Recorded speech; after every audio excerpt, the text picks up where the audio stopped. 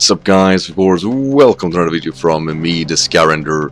And today we're gonna do, of course, a top 10. It's been a long time going. I've been working on this list actually for quite some time, but I never made it to a top 10. I always had 8 in mind for a really, really long time. And it always bugged me that I couldn't really complete this list, but I finally was able to. And uh, they might be nitpicks, the, two, the first two ones definitely nitpicks. Uh, but just wanted to complete this list so I think you guys gonna appreciate it anyway.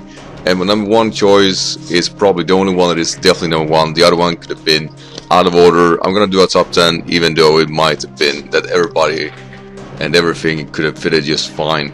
So these are my top 10 weird or wrong Pokemon typings in Pokemon. So without further ado enjoy and coming in number 10 is actually something that has bothered me, but not really as much. But thinking about it more, it kind of makes sense, and it feels strange it hasn't happened. But that is, look at these three guys. What do you see? It's three bears, right? You see, of course, the normal bear with Ursaring with the normal type. You see the ice bear, the polar bear being ice type. But then you see the panda from Jap Japan, right? And it has a fighting type attached to it, the dark type. So wait, it gets a dual typing but other two does not. Hmm, yeah, it's something that actually has bothered me a bit. It's I wanted really to see both Ursaring and Beartic get a fighting typing attached to them. I know it's not really helping them as much, but they have access to the basic fighting attacks, and I think at least for Beartic it would have helped it a lot and Ursaring maybe to some extent uh, doesn't have access to scrap and whatnot but I just feel that it should it kind of makes sense. And uh, it would have made them a bit more complex to use than are right now. And uh, that's why Pangoro's UU and they are an NU it's really that simple. That stab is something they needed and they have the raw power to pull that off. So uh, like I said first two are nitpicks but this one kind of bothers me so I really that would have been cool to have seen a fighting ice type. I would have loved to see that. But anyway, that's the number 10 spot. Coming in at number 9 is Torkoal. Now, Torkoal was introduced in Generation 3, and I always thought it was weird that it only was a single fire type. Don't get me wrong, I would have loved to see a rock fire type. I believe, you know, with that shell, that rock seems to make sense to it. Now, I, I believe that Magcargo has the same typing, and is horrendously bad. Uh, but one thing to keep in mind is that they don't really share a lot of stats. Like, I think that Torkoal is a better defensive Pokemon, it has more defense to boot, and I believe stats like that would have helped it out immensely. Now, Rock type is a very, very mean typing to have if you're a Fire type, but at the same time, I can't deny the fact that I feel like this Pokemon really looks like the part. He looks more the part than Magcargo does, to say least. But anyway, like I said, first spots are a bit of nitpicks. Now we get to the good stuff. Coming in at number 8, and this is really just to have it out of the way, because I know everybody thought about Stunfisk when I made this list, and yes, we have to really talk about this. What the fuck just happened? Um, electric Ground, yes. It's a weird typing, it really is. But at the same time, it's not that it's a weird typing that makes it weird, it's how, how you find it, and how little sense it makes that it is electric and ground. Now, I do believe, or I think, that it's a fine um, way of getting a typing on it, but I would have much rather seen water electric or actually ground water. Now, ground water, very, very common typing, not the coolest, not the best, or actually it's really good, but we have already have so many Pokemon with that typing. Uh, but I would much rather have seen like a Lanturn and of course um, Rotom Wash set on it. I think that would have helped it much more. Uh, with actually to Skull, for example, it would have really helped it out. And have the Thundering or the Earth thing of it as a niche, like a basically like a filler move. I would appreciate it much more, and I would appreciate this Pokemon much more if that were to happen. Now, obviously, that didn't happen. They didn't even get this thing dry skin. It got Limber though, yeah, that that's really, really bad. But yeah, he's the first guy. Like I said, I just wanted out of the way. It's of course very obvious that he's feeding least just like this, isn't it? And coming in at, of course, the number 7 spot is the one Pokemon I actually thought would have been a, a ground and electric typing. I still believe this to the very day, like, Heliolisk is one of those Pokemon that is a bit of jack of all trades. I could have seen it as a fire electric, I could have seen it as a dragon electric, but I would have been fine with a ground electric. And Heliolisk, with that speed that actually got and special attack, it would have been amazing having the likes of Earth Power on it. And I just fairly believe that the normal typing is fine on it, it just would have been so much cooler with, uh, with of course the ground typing attached to it. And even with dry skin, please, it would have been so cool to use. And so many good utilities comes with that. And uh, just overall, Heliolisk is a really, really good Pokemon. And I just still to this day find it really strange that it's still a normal typing. When you find it, after all, on the way to a tunnel where only the ground types you can meet. It still perplexes me, it really does. And at number 6 is actually a thing that I can debate till the day I die. But it is these guys. Yeah, there's a joint place, much like the first one.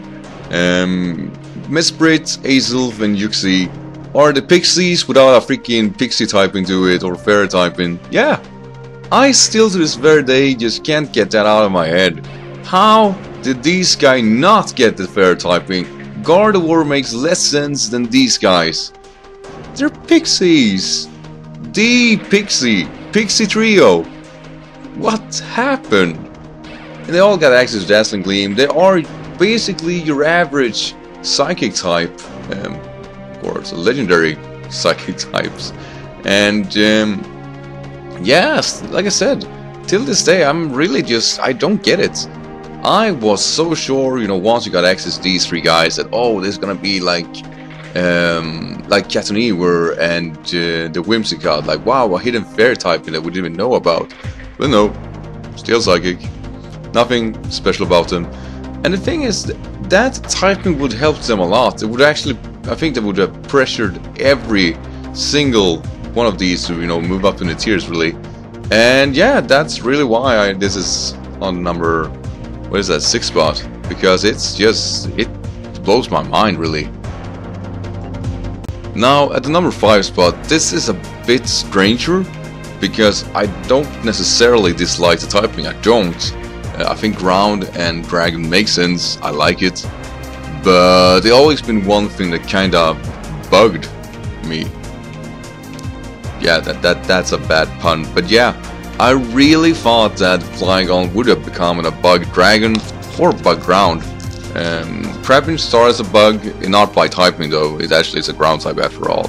Vibrava evolves ground dragon and it keeps that typing through the evolution to Flygon. But I myself always thought that Flygon would have been a much better bug dragon Pokemon and the stabs are there to for it to pull that off. Don't get me wrong, I would have liked to keep that Earthquake with that, but uh, just as a standalone Pokemon.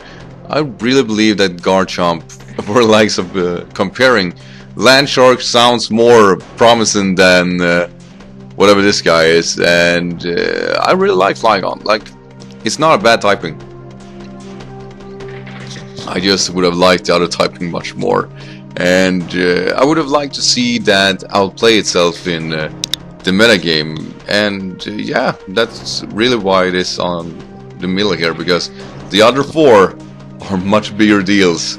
And now we're gonna start with the real guys. And the first one though is gonna be Lunatone and Solrock. Mostly Solrock though. Um, Lunatone is I would have wished that it wasn't your standard rock psychic, or isn't standard, but it wasn't that it wasn't psychic. Uh, much like dark typing or ice typing water. Feel like it could have made sense. Water more, uh, ice kinda, um, but um, yeah, the thing is though, Solrock probably one that really really stands out. It should have been fire. It really, really, really should have been fire. Should have been a fire rock type with levitate. That would have been so amazing. Um, with that said, Solrock still doesn't learn Flare Blitz, nor a physical move which is fire related, which till this very day, uh, th th that's fucking strange. It, it really is. And uh, Solrock overall is a very, very useless Pokemon I have found some uses for it myself, but that was as a joke and it kind of worked. But I never pull off something good with it, and I don't see anybody pulling something good out with it.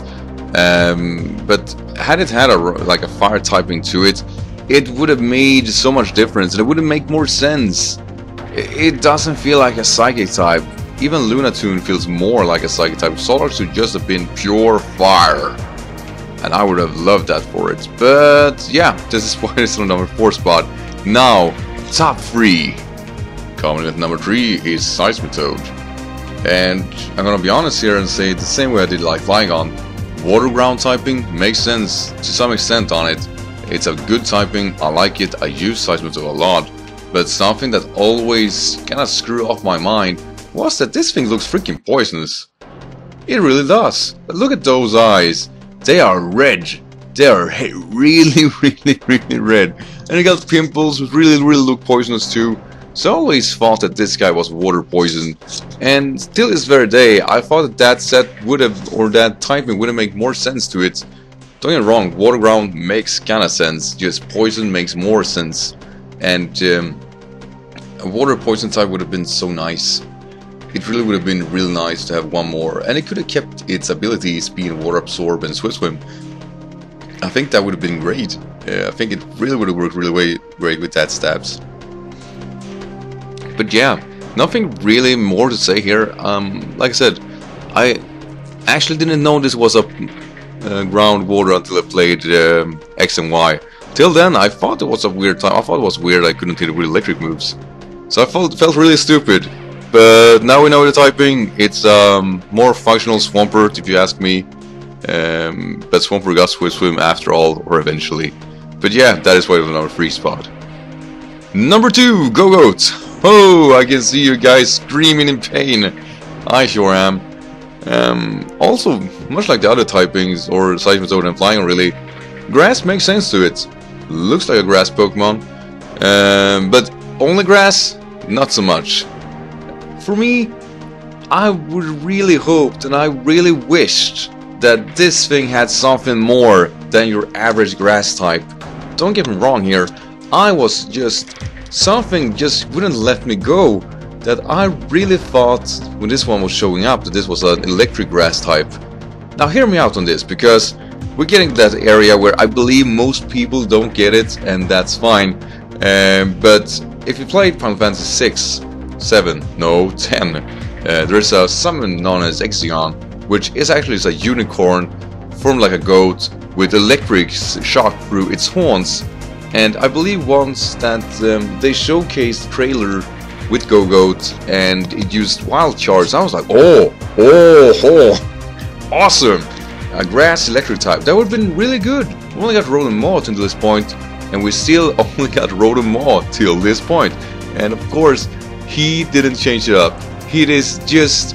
Now Gogoat is a good Pokemon. I hate it so much. I really like using it. I hate going up against it. But I really thought that Gogoat was gonna be a game changer. And when it wasn't that, I was so disappointed. Uh, give credit though to the Gogoat for being a very very good Pokemon in the lower tiers.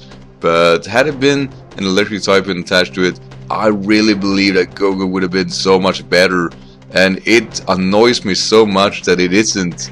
Um, had it had electric typing and get access to Earthquake, Rock Slide, you know, a lot of good moves plus Miltank recovery, that thing would have been really, really, really nice. Uh, that did not happen, obviously, and um, it's something that you know, it's really my opinion alone, really, and uh, I always thought that it should have got that, and sadly we didn't, and that is, is what is on number two spot. Coming in at number one is the most annoying thing ever, Mega Gyarados. And this is a thing that hasn't really bothered me, you know, since like or something like that. No, this is since it was introduced, I found it in X and Y, and it was a dark typing. Now it did bug me that the only stab it had was Bite, yes, but that was not really the biggest deal for me.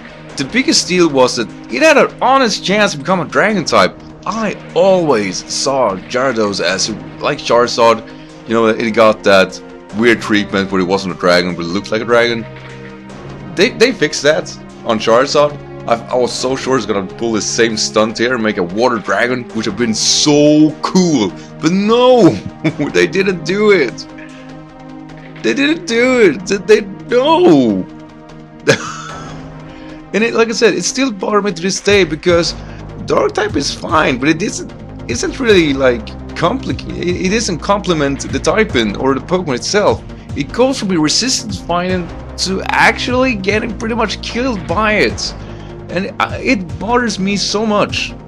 Uh, yes, you get, of course, the avoidance of electric typing, you know, being able to resist that. I get that, I still don't like it. And I could go on for a rant for hours about this, but this is something that really is a missed opportunity. Had it become a dragon typing, you know what would have happened? It would have been taking neutral all of a sudden from electric types, which would have been incredible. Um, it would have taken neutral from ice types, which would have been incredible too for a dragon. And just overall, it would have taken a lot of neutral hit. Water Dragon typing is a really, really good typing. And I thought Gyarados would become one of those really, really scary Pokemons that nobody could beat. But they still managed to just screw him over and make sure that this guy can go down with almost any matchup if he can't outspeed. Now, give credit to Gyarados as I will do that and say it's a very, very good Pokemon. I just see it as a missed opportunity to make something bigger, better.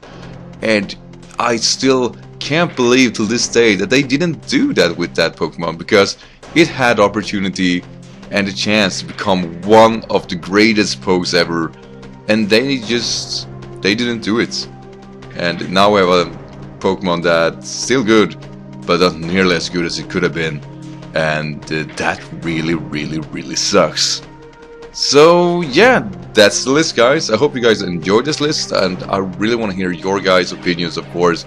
Is there a weird typing that is still is bothering you and you feel like it should have been something else? Um, Game Freak has their way of really making good typings and some of them makes actually a lot of good sense. Some of them, them don't. That's why there's this list after all, but at the same time we can't have three typings Pokemon ever either. It would have really complicated things. But um, yeah, I guess that would be all for me. I hope you guys enjoyed this. And like I said, if you want more top 10s, leave a like and comment and subscribe if you're new here, of course. And I'll make sure to upload one very soon. If we can reach 20 likes, then I'm going to upload that next video next week. But anyway, guys, I want to thank you for watching. And remember, the sky is the limit. Until next time, bye.